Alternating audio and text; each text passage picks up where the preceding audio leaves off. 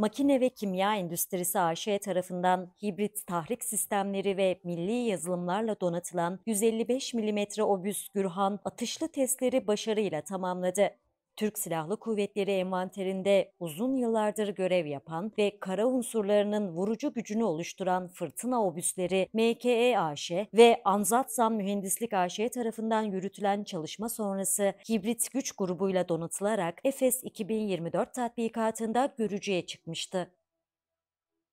Dizel güç grubundan hibrit güç grubuna dönüşümü sonrası tasarım doğrulama testlerini başarıyla tamamlayan Gürhan 23-25 Temmuz tarihlerinde Konya Karapınar'da gerçekleştirilen çalışma ve atış senaryolarında yüksek basınç ve maksimum menzil test atışlarını da başarıyla tamamladı. Motor transmisyon sorunları nedeniyle yurt dışına bağımlı olduğumuz 155 mm fırtına obüsü tamamlanan çalışmayla yerli ve milli güç grubunun yanında yazılım ve mekanik sistemlerle geliştirilerek ihracata hazır hale getirildi.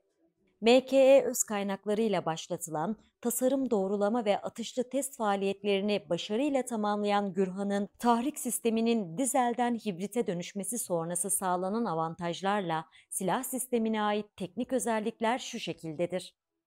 Yakıt tüketiminin düşük olması, bakım maliyetinin düşük olması, ekonomik ömrünün uzun olması, bakım idame aralığının uzun olması, bakım süresinin kısa olması, motor değişim süresinin kısa olması, transmisyon değişim süresinin kısa olması, yedek parça yatırımının ekonomik olması,